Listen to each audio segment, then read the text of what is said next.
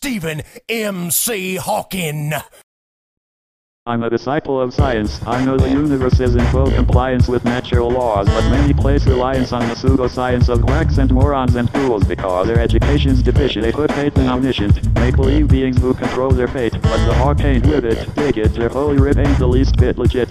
It's a bunch of bull. They need to read a book that's not so damn old. Let reason take hold. The truth to be told. They're probably already too far gone. Withdrawn. The conclusion foregone. But maybe there is still hope for the young if they reject the tongue being slung from the tongues of the ignorant fools who call themselves teachers and listen instead to their science teachers. Upon blind faith, they place reliance. What we need more of is science. on blind faith, they place reliance. What we need more of is science. on blind faith, they place reliance. What we need more of is science. On blind faith, they place reliance. What we need more of is science. Science. Science. Oh yeah, that's right.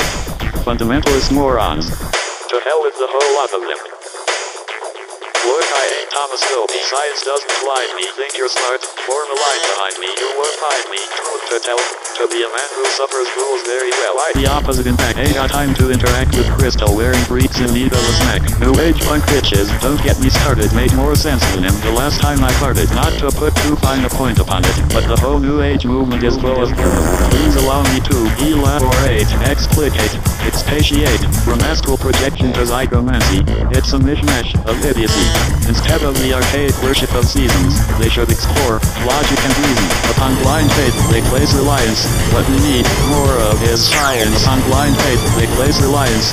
What we need more of is science. On blind faith, they place reliance. What we need more of is science. On blind faith, they place reliance. What we need more of is. Science. Dumbass New Agers. Is there any amount of crap they won't swallow? Crystal power my ass. When are these morons gonna join us in the 21st century?